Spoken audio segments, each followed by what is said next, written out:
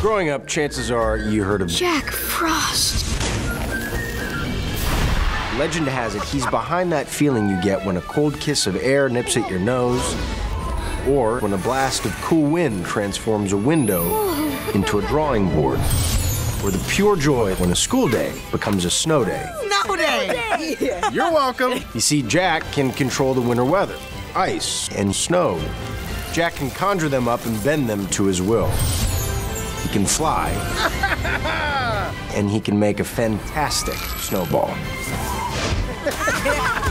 but if you think a little fun in snow games is all there is to Jack Frost, then you don't know Jack. You see, Jack, he's a guardian. What makes you think I want to be a guardian? Or at least they'd like him to be. Jack will join forces with his fellow guardians Santa Claus, the Easter Bunny, the Tooth Fairy, and the Sandman to protect the dreams and children everywhere. All you'll have to do is believe. You'll see everyone needs a guardian. Hey, am I on the naughty list? Ah! You hold the record.